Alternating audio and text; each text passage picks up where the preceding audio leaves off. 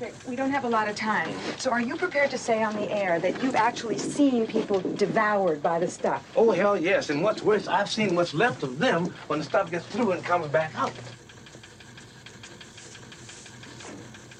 You want to run that by me again? I've seen what's left when the stuff gets through with them and, and comes back out. It sort of vacates the premises when it's through. How? Uh, I'm, I'm sorry. I mean, what am I asking you for? How would you know? Oh, I know. Oh, Charlie. Are you, Charlie, are you all right? Charlie, are you, are you all right? What's the matter? Uh, uh,